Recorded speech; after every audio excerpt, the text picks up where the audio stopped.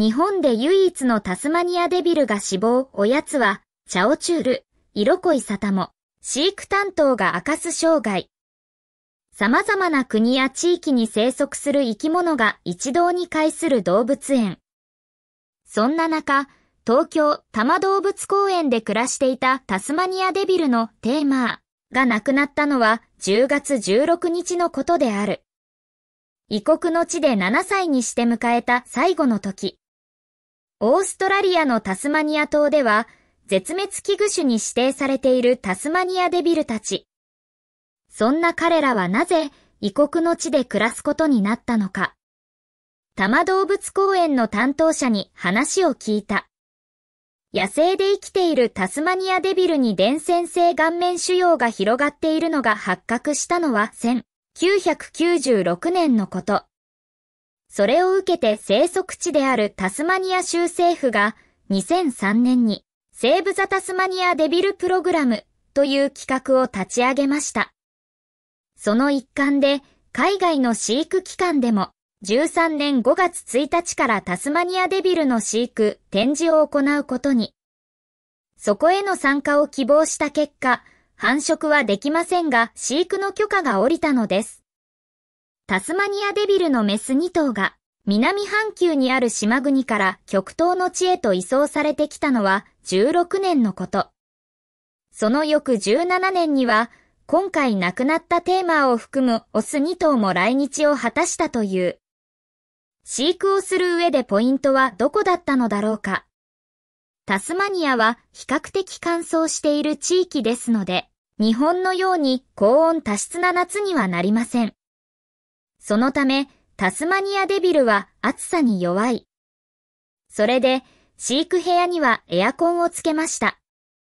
また、うちの園では初めて飼った動物ですので、餌にも一苦労。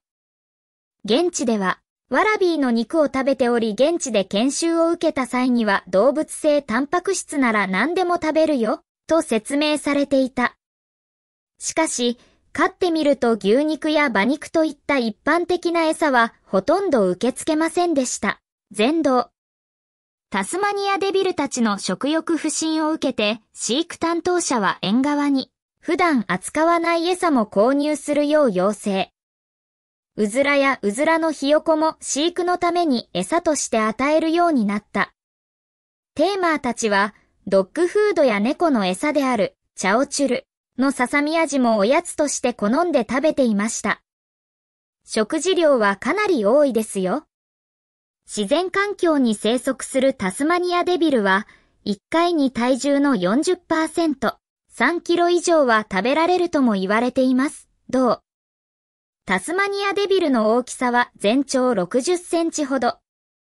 体重はおよそ8キロと柴犬とさして変わらない。飼育環境下で暮らしているのも影響してか、テーマーが食べる量はせいぜい多くて1回に2キロほどでした。餌やりは1週間に4回。曜日を固定せずにわざとランダムに餌を与えることで自然環境に近づけていましたね。前出の担当者。多摩動物公園にオスとメスが揃ったことで色濃い沙汰も発生する。繁殖期以外は同じ部屋で育てていたんです。他のデビルがいるだけで元踊り地住んでいたメスのデビルの刺激にもなる。ただ、デビルのメスは力が強いオスを好む習性がありまして、後から縁に来たデビルのうち弱いオスのデビルにあたるダーウェントがメスのメーディーナにいじめられてしまったんです。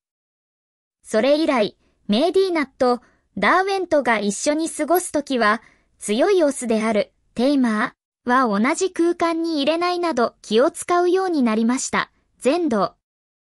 17年と19年にはメスのマルジューナンとメーディーナンがそれぞれ悪性腫瘍で死亡。23年1月にはテーマーの兄弟にあたるダーウェントが亡くなった。そして今回、テーマーが亡くなったことで、多摩動物公園にタスマニアデビルはいなくなってしまったわけだが今後、新たなデビルをお披露目する可能性はあるのだろうか。セーブ・ザ・タスマニアデビルプログラムには参加していますので今後、新たなデビルがオーストラリアから送られてくることもあると思いますよ。ただ、時期まではまだ全然決まっていませんどう？ボルネオオラウータンや日本コウノトリ、時といった絶滅危惧種も多数飼育する多摩動物公園。絶滅危惧種を飼育する意義をどう考えているのか。絶滅危惧種の飼育をすることで、動物が危機を迎えている現状をお伝えできればとは思っています。日本の飼育環境は他国に比べて広いとは言えません。